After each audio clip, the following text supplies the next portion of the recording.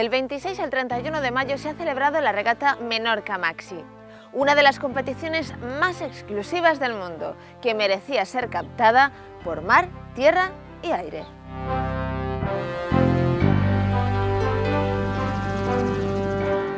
Esta competición se celebra en las paradisíacas aguas de Menorca, la isla más oriental de las Baleares y también la más singular, reserva de la biosfera por la UNESCO. La regata ha tenido además salida y base en esta maravilla de puerto natural, el de Mahón.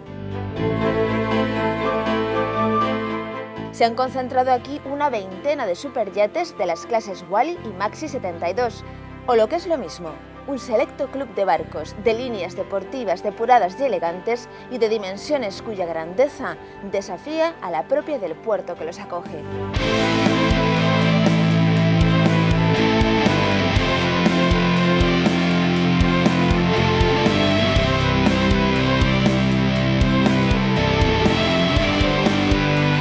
La Menorca Maxi es una regata impulsada en 2014 por la autoridad de la isla, el Consejo de Menorca, a través de su Departamento de Turismo, institución que junto con el Club Marítimo de Mahón y la clase Wally han podido repetir la iniciativa por segundo año consecutivo con más participantes.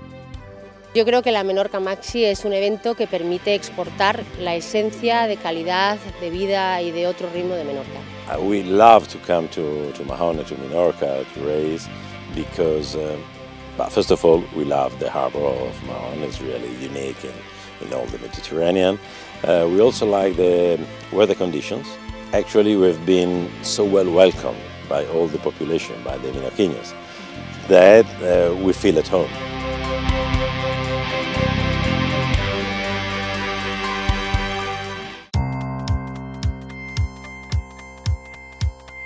...28 de mayo, viernes primer día de pruebas de la Menorca Maxi.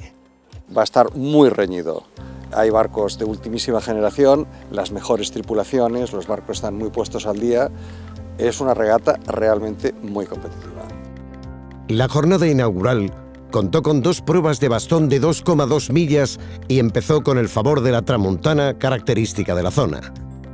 Pero a medida que avanzaba la primera prueba, cayó el viento y roló 30 grados, lo que obligó a cortar el recorrido de los Wally, los últimos en salir. En esta clase le tocaba defender título al Magic Blue de los italianos Antonio Cacace y Flavio Fabini. Frente a este 86 pies, presentaron candidatura al trofeo desde la primera manga los 100 pies Magic Carpet 3 y Open Season. Magic Carpet 3, del británico Sir Lindsay Owen Jones, fue campeón del circuito Wally del 2014 y plata en la Menorca Maxi del mismo año. Open Season, armado por el alemán Thomas Boa, acababa de ganar la Gaastra Palmavela, el primer evento del circuito Wally del 2015. Ambas embarcaciones tienen un hándicap muy parecido y se marcaron un pulso en tiempo real que en la primera prueba acabó ganando tanto en real como en compensado Open Season con Magic Carpet y Magic Blood detrás. En la siguiente y última prueba del día, Open Season y Magic Carpet hicieron fuera de línea en la salida, pero Open Season fue capaz de remontar como no lo supo hacer su rival. Repitió victoria y cerró jornada líder. El Lira se coló en la segunda plaza de la general. Buen inicio para este 80 pies que debutaba en la Menorca Maxi. Cerró jornada tercero de la tabla Magic Blue empatado a puntos con Lira. La clase Wally es la mayor flota de grandes cruceros de regatas de más de 24 metros de eslora y hasta 50 que existe en el mundo. Son embarcaciones diseñadas a medida, con tecnología punta, materiales muy ligeros y que combinan a la perfección máximo confort y velocidad. La regata de Mahón ha sido la primera en España donde han competido cinco unidades Maxi 72. Esta clase, creada a finales de 2014, reúne los barcos antes conocidos como Minimaxis, monocascos con un límite de eslora fijado hasta los 72 pies, es decir, 22 metros, 100% deportivos y con diferencias mínimas en tiempo compensado. Uno de los grandes favoritos era el Maxi Momo, que acababa de ganar la Gastra Palmavela 2015. Empezó la Menorca Maxi clasificando segundo de la general, seguido del otro gran favorito, el Robertísima 3 de Roberto Tomasini, vigente subcampeón del mundo, con Vasco Bascoto a la táctica. En primera posición clasificó el británico Jetu. Maxi armado por Sir Peter Ogden, quien se reconocía ilusionado con la posibilidad de ganar la regata en su primera visita a la isla y tras haber hecho una profunda remodelación al barco. El viernes 29 de mayo contó con viento de 6 a 13 nudos en descenso y brindó grandes imágenes. Primero, con los barcos saliendo a vela del puerto y segundo, con los veleros pasando junto a dos emblemas del paisaje menorquín, Cala en Porter y la Isla del Aire. Isla singular por su naturaleza y por su faro, uno de los cinco que perfilan la isla, de los más altos de Baleares y con historia. Cruzada la línea de salida, los barcos tenían que tomar enceñida una boya de desmarque, y aquí se produjo la primera división clara de la flota en dos bordos, con mayor presión para los que optaron por navegar cerca de tierra. El siguiente tramo, una larga popa de 10 millas entre la isla del aire y la baliza de Cala en Porter, fue más favorable para los barcos que siguieron apostando por la costa, puesto que el role del viento siempre dio a derechas. Y lo mismo ocurrió con el cambio de popa enceñida en Cala en Porter. Influyó también que el viento fuera de una intensidad media, factor que benefició a los barcos de menor eslora una vez aplicados los tiempos compensados. Así lo reconocía el capitán del J-1, que destacaba la toma de baliza en Cala en Porter como la clave para ganar la regata en Wallis. Very the bottom mark near Cala Porter, we managed to get in front of one of um, of of Tango, and from that point we felt a lot more in control, and then we just sailed very well, really. Open Season y Magic Carpet demostraron hasta qué punto los Wallis son barcos de alto rendimiento. Hechos de carbono y muy ligeros, a pesar de sus 100 pies de eslora, fueron capaces de alcanzar una velocidad de 12 nudos con el código cero izado y solo 6 de intensidad real. Esto hizo posible que, habiendo salido 10 minutos más tarde que los Maxi, los alcanzaran y rebasaran en regata y que protagonizaran un nuevo y emocionante cuerpo a cuerpo.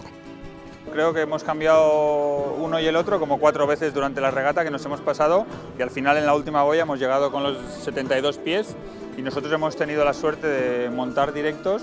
Ellos han tenido que venir a babor y venían todos los maxis de 72 pies a estribor y ha tenido que ponerse el último.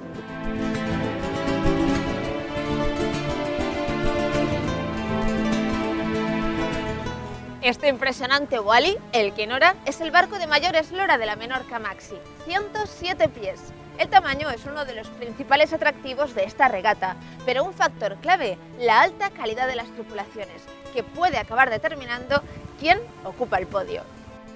Un buen ejemplo lo encontramos en el Galma. Wally de tripulación 100% española y de nivel, con Toño Piris, Talpi a la táctica. El Wally alemán Open Season contaba con el ex Copa América y campeón olímpico Jochen Schumann a la táctica, además de navegantes españoles de la talla de Pepe Ribes y Marc Patiño, entre otros. Al inicio de la tercera y penúltima jornada, Open Season y Magic Blue partían líderes de la general de Wallis empatados. Lira los acechaba a un solo punto. Comité estableció un recorrido al viento de 2,1 millas y pudo dar dos salidas. La primera prueba la ganó Open Season, que navegó sin la presión de su contrincante habitual, Magic Carpet 3, penalizado con llamada individual en la salida. Por su parte, Magic Blue terminaba sexto la primera prueba, su peor resultado en toda la regata, que pudo restarse gracias a la entrada del descarte en la siguiente manga, donde terminó segundo. Magic Blue cerraba jornada cuarto e igualado a 13 puntos con Lira, tercero de la tabla. Segundo de la general, con 12 puntos, terminaba el día Open Season que solo pudo hacer un quinto puesto en la segunda prueba. Primer clasificado de los Wally a falta de una jornada quedaba el Tango G. El descarte permitió a este Wally eliminarse un octavo parcial del primer día y aprovechar su regularidad en el resto de mangas. Entre los Maxi 72, clasificación de partida ajustada y pelea intensa en el agua como muestran estas imágenes.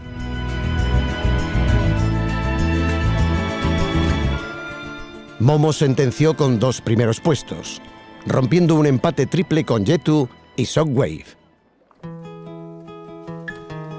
Buen viento por encima de los 10 nudos sopló en la última jornada, con regata costera hacia el norte que permitía completar el programa previsto.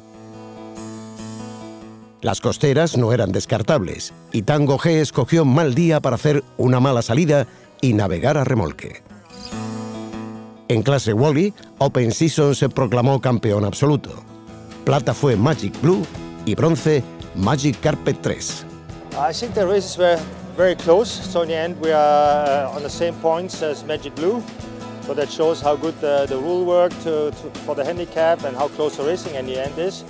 So I think we are very lucky and sailed well. So it's only the, the second race for our boat with the same crew and after some modifications.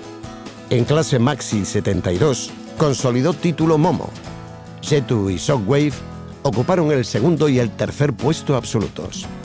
Today we raced in beautiful weather, good wind, in front of a beautiful island and matched together with G2, so it was a great race.